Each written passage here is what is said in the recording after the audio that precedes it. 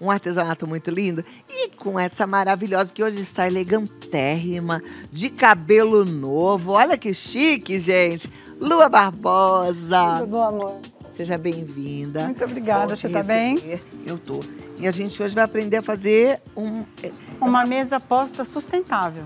Toda, porque aqui Toda. é tudo sustentável. Esse suplá é vinil. Olha isso. É, deixa eu te mostrar rapidinho aqui.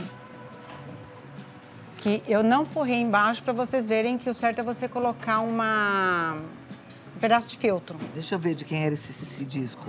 Nossa senhora, agora ela vai entregar. Ah, não pode nem falar, né? Não pode nem falar. Não vou nem falar. Tem gente que briga com a gente quando a gente faz eu isso, amo, eu amo. Ah. Então, Mas você tá tudo no forra. Spotify, pronto. mas vocês forram depois bonitinho, tá? Então Tá. é uma mesa sustentável de lanche. O que, que eu fiz?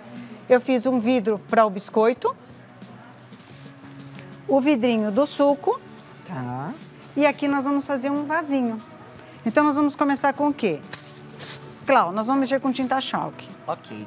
Tinta chalk caiu, principalmente se você fez unha, qualquer coisa, ela dura sair, principalmente quando é uma tinta chalk, que ela tem mais de 60% de eh, resina Tá nela. vendo? Então, Então- não é bom brincar, por isso que você tá de luva. Sim, porque, por exemplo, semana passada a Cuca fez também, ela comentou com você, existem várias marcas, só que tem marcas que tem mais de 60%, então, ó, Tá. você pode riscar, não vai sair, você passa a unha dela, não vai sair, então tem que ser uma tinta chalk boa. Olha, a- a- eu sei que a turma tá curiosa aí, querendo saber de quem é esse disco de vinil. Mas eu vou fazer, não vou contar, não. Não conta, senão ele Você fica quer bravo. saber? Você me pergunta lá no meu Instagram, que aí eu conto pra você. Não, aí ele vai me perseguir e falar o que, que você fez Oficial. com o meu vidro. É, Primeira coisa que você vai fazer, vai pegar o vinil. sou fã. Ela tá me... De carteirinha. Ela vai me queimar com o cara. Não vou falar o nome de jeito nenhum. Aqui eu vou falar pra vocês Desculpa, que tá, mas também tem muita tem coisa boa, mas é de novela, então tem muitas Ai, meu Deus do céu, não é variadas. ele. Não é, não é, não é, não, Não, é essa ele pessoa desce que vocês estão pensando. Não, não é da Rede Vida. Gente, primeira coisa que você vai fazer no disco de vinil é pintar ele todinho. Outro erro, nunca peguem água, molhem Olha muito. meu prato, hein? A tinta Diana, tô de olho. Nunca molhem muito o pincel para misturar na tinta chalk. O máximo que você vai poder fazer é molhar a pontinha dele para deslizar. Porque a tinta chalk, se você colocar muita água, ela não vai surtir o efeito que ela tem que ter Tá. o efeito, tá? Depois de eu pintar ele todinho, tá? Digamos que eu passei a demão nele todinho. Eu vou vir com o, o rolinho. Vou passar o rolinho e vou deixar secar e aplicar duas demãos da tinta chalk, tá? No vidro, que seria esse aqui, o que, que eu vou fazer? Eu vou fazer uma demarcação, como eu fiz ali, de vários, com uma fita crepe. Para fazer um desenho, tá?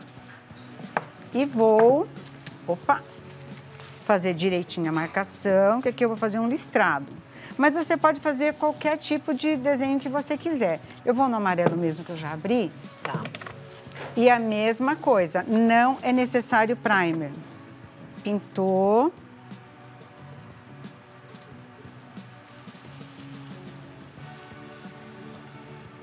E para não ficar a marca, gente, Ah, esse desenho é o que você fez é o assim que eu já aqui, fiz né? embaixo, já tirei, eu vou tirar o de cima para você ver como é que Tá. fica. E sempre vindo com um rolinho para passar.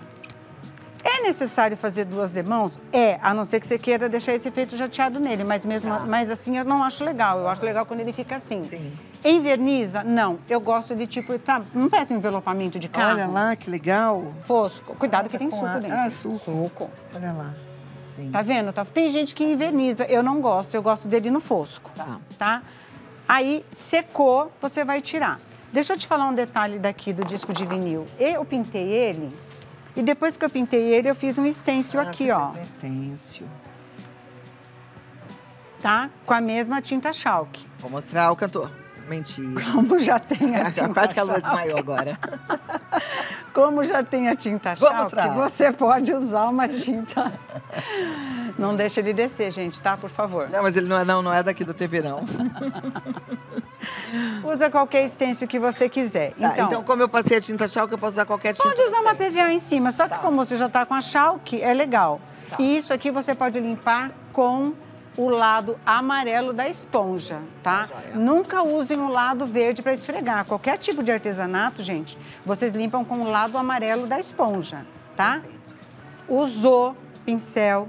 Se você não colocar na água Chalk, você perde o pincel. Que ele endurece. Na hora. Ela tem, a tinta Chalk ela tem um poder realmente de permeabilizar muito o teu material, de te dar a facilidade de você não usar ah, o primer. Tá. Isso aqui, esse porta-guardanapo.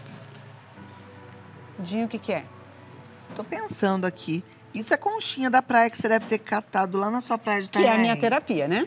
Que olha aqui.